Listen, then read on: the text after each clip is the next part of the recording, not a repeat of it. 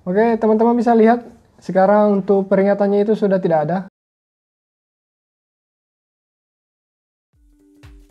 Assalamualaikum warahmatullahi wabarakatuh. Oke teman-teman, kali ini kita kedatangan servisan HP Oppo A1K.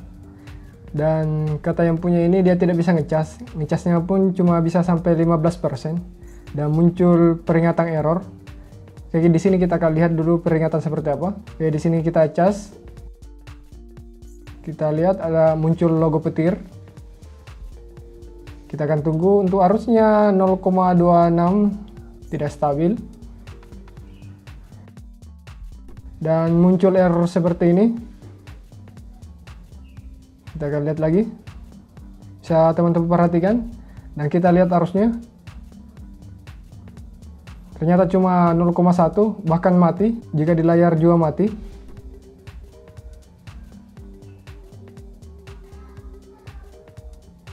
Oke di sini saya akan coba nyalakan untuk HP-nya. Kita akan lihat apakah saat kita nyalakan muncul peringatan error juga.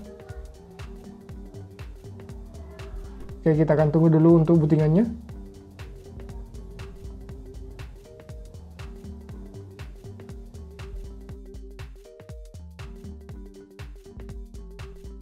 Oke, di sini sudah masuk. Kita akan lihat apakah muncul peringatan. Untuk cahaya di displaynya ini agak redup.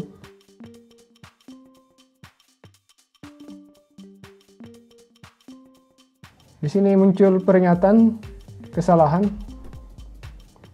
Tunggu saya akan coba tes lagi. Bisa teman-teman perhatikan di sini muncul tulisan kesalahan, kesalahan sambungan. Dan untuk arusnya kita lihat dia terbaca 0,2 dan dia tidak stabil. Oke, langsung saja kita akan bongkar untuk HP-nya. Biasanya untuk kasus seperti ini, untuk jalur komunikasi ke baterainya itu dia terputus atau jalur BSI. Karena untuk konektor baterai itu terdapat 4 pin. Untuk pin positif dan negatif itu biasanya ada di kiri kanan. Dan untuk pin BSI dan temperatur itu biasanya ada di tengah. Dan untuk HP ini pernah saya videokan dulu dan masalahnya itu untuk kabel LCD-nya itu dia putus jadi saya sambung. Karena LCD-nya ini masih ori dan LCD-nya ini masih bagus sampai sekarang.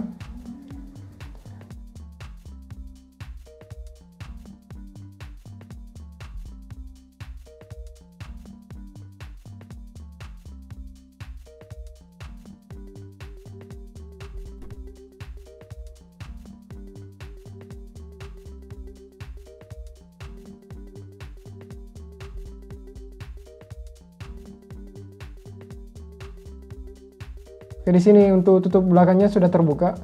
Sini akan saya lepaskan beberapa skrup untuk tutup mesinnya.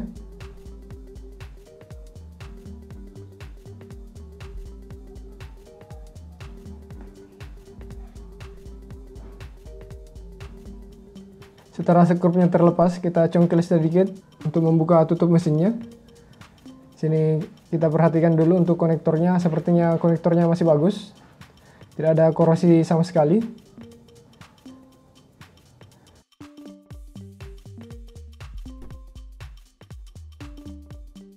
Oke, teman-teman bisa perhatikan, di sini ada 4 pin atau 4 jalur. Dan di sini saya akan coba lepaskan dulu untuk busanya atau karetnya. Saya akan coba cek untuk pin bagian bawah atau kaki bagian bawah apakah ada jalur yang terputus. Sepertinya untuk pinnya itu masih terhubung. Jadi di sini saya akan coba tes menggunakan multitester di mode buzzer atau mode dioda. Sini saya akan coba cek untuk pin groundnya saya pasang di kalengnya, kemudian saya cek.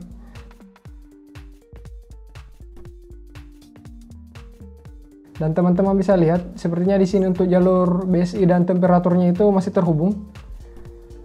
Dilihat dari angka yang muncul, jika angkanya cuma satu seperti ini, biasanya itu tidak terhubung. Dan ini saya bolak-balik untuk polaritasnya, ternyata dia masih terhubung kemungkinan untuk jalur di mesinnya ini masih normal Jadi saya curiga cuma agak longgar atau sedikit kotor. Jadi di sini saya akan coba bersihkan saja dulu untuk konektornya. Mudah-mudahan cuma kotor.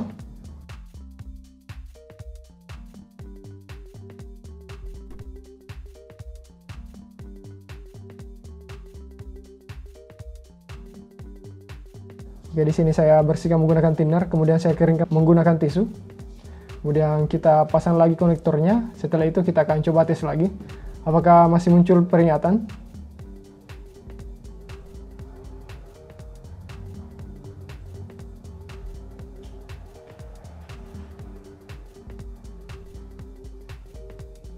Kita tunggu. Muncul logo petir.